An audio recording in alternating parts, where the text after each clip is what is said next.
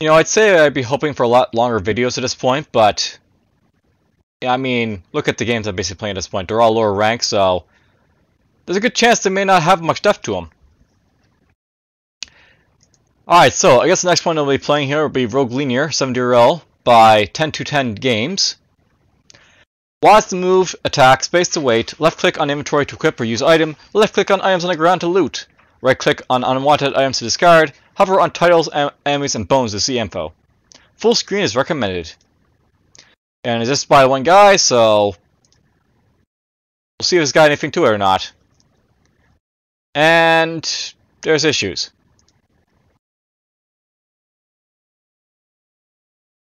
It could be because I'm playing in Chrome, who knows.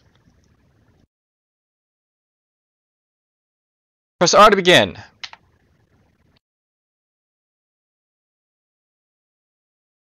Alright, so moving around. We got a mushroom in our inventory. We're rogue. The rogue hits the imp. This is an imp up here. The imp dies. I lost 2 HP doing that, but it's fine. So it is turn-based. I actually hover over stuff, basically see, like, you know, information on it. So, this is a zombie. It's got an HP of 8. It's got damage of 2. Garrus is bones. So, it's got dagger, damage 7 to 13, banana, and heal. So, we can pick this stuff basically up here.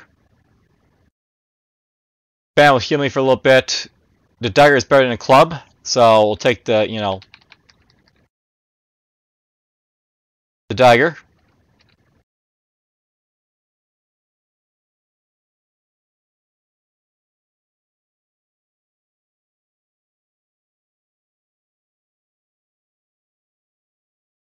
A rogue hit the bandit for 7 damage. This guy's a bandit.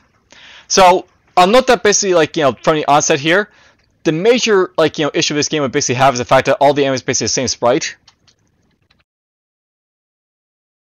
And that's not really great butter. So we got ourselves an axe here for 8 to 15 damage. Another banana. So let's drop the club. I'll take the banana. We'll drop the dagger. We'll take the um, the axe. There's even better axe, so we'll take this axe. But yeah, this is like the thing. This is not a bad graphics set, but I mean, there's only like two graphics basically here, so there's that. Uh, here's a ghost. It basically has a club with uh, 5, 15, um, 14 damage. So it looks like basically the like um items basically have random like damage outputs. Throw it out there. I suppose I have like fixed ones.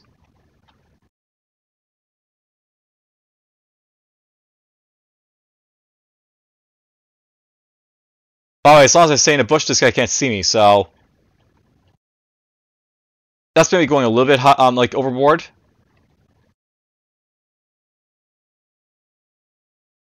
Okay, there goes that goblin. There's another banana, it heals for 6 this time.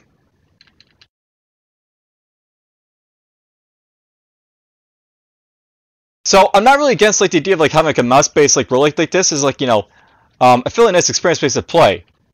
But it definitely needs to have more basically done to it in terms of like you know um by the way can I apparently scroll this? It needs to have like more like you know graphics basically done to it so basically differentiate differentiate like you know enemies here. Maybe like you know when basically like you know chasing around guys like this they're a little bit less keen to like you know um lose track of you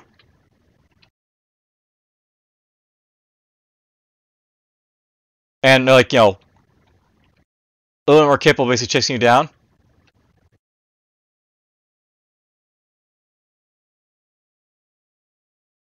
There's an apple. We'll take that.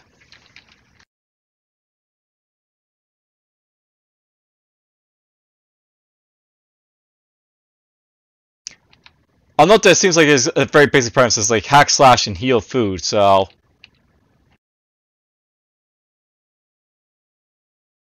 It lost track of me by the way, so it can't see me anymore. There goes the orc.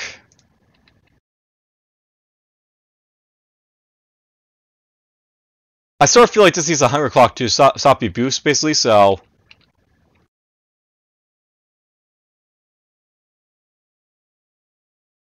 The art is like, you know, capable of basically, like, you know, failing to find me every so often. Apparently takes a turn by way to heal up, uh, use items like this. As a thief by way, maybe the thief could steal items, who knows? Um, this was called Rogue Linear Dungeon, I think it was, the name here. Yeah, Rogue Linear. So, I was supposed to say, it seems a little bit linear. It is, it is linear, so... I can't really blame them, blame them for um, having, like, you know, a linear dungeon when that's the purpose of the game.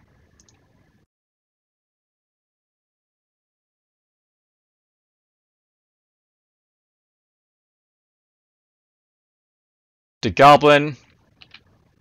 Zombie died. Goblin died. I'll take that sword.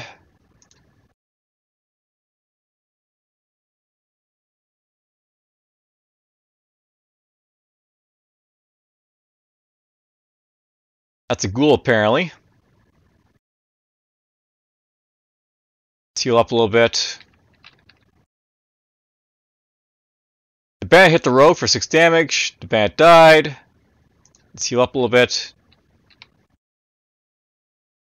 Hit the thief. I killed the thief. Killed the skeleton. Alright, so here's got a weapon that's basically like, you know, got a longer range. So I could have like, you know, 12 to 26 or 14 to 24.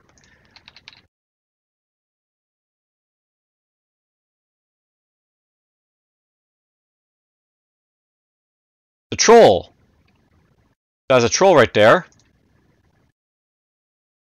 And yeah, not the major problem with this game is you have to mouse over stuff basically get the information about him, so...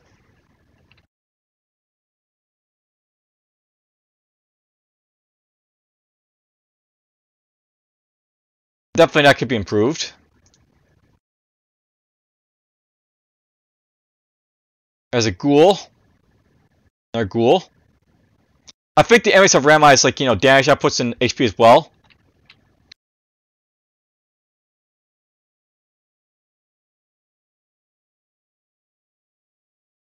There's a sword. And yeah, I could keep hiding in the bushes and stuff like that, but let's just, like, you know, push on here a little bit at this point, so...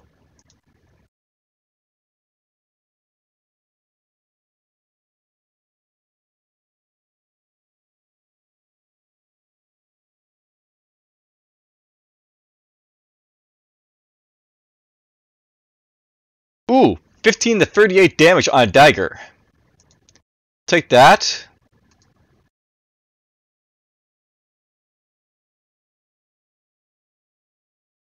I'm actually kind of low on HP here, so let's heal up a little bit. Some bread. There's our sword. I suppose the quick question to ask here is like, is there any like you know end to this game, or does this keep like you know indefinitely going here? Is a boss basically? Uh, 15 to 41 sounds a lot better than like you know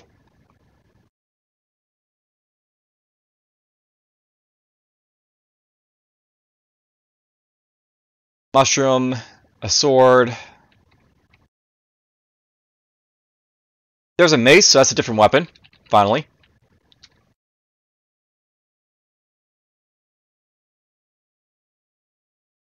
There goes that bandit.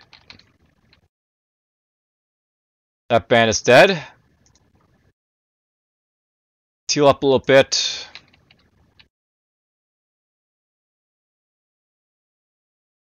There's a goblin, it's dead.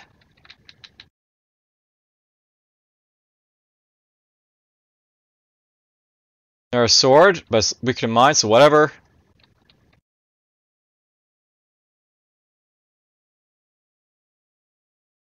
Mace, club, whatever. Seal up a little bit more. Finally running out of food, because, like, you know, I'm being, like, less, like, you know, safe here. So I suppose I don't have to fight these guys, but it makes sense to.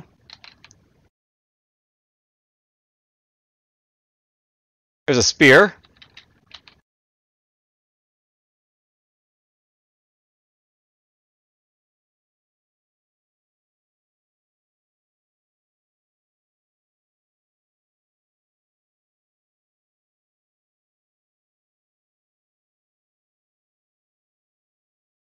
This guy injured? No, he's not injured.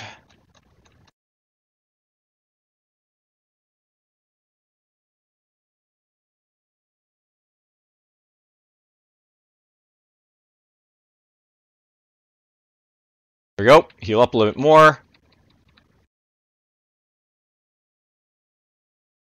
Sort of walked into that attack, but oh well.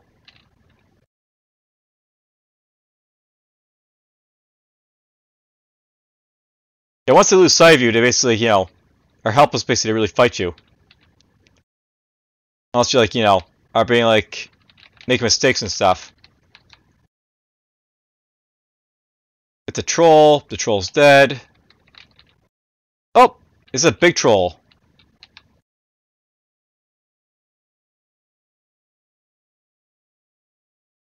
I seen a big troll can hit a little bit harder. Yeah, 16 to 22 in this guy. I have a 40 damage this guy.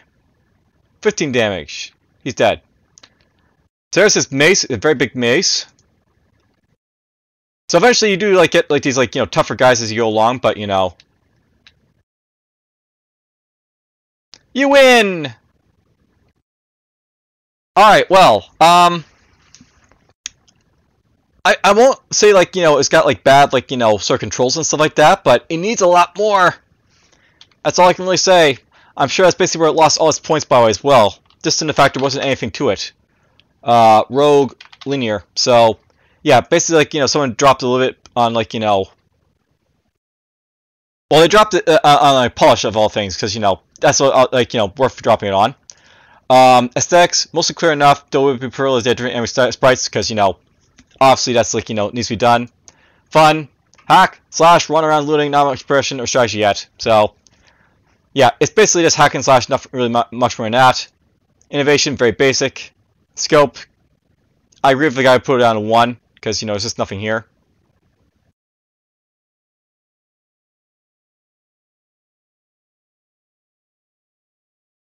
And yeah, roll like this, basically like, you know, it's got permadeath, it's got, you know, RAM duration, but it's just very, like, linear, so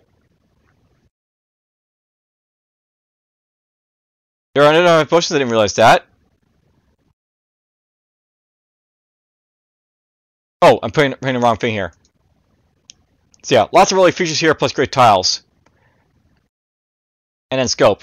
So, it looks like they like gave him like high marks for like roguelikeness, which I actually find a little bit like, you know, it's a little too simple, I think, for to call this a roguelike. It is technically roguelike, but I'd probably drop that down to, two, to a 2 for like the lack of depth.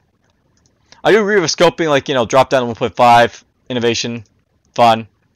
It just needs a more, this game. Like, this is a very good, like, prototype, but you need to actually add the content to it now. Alright, well, that's basically Rogue Linear 7DRL. Hope you guys basically enjoyed it, and, well, take care. Not much more to say about this one.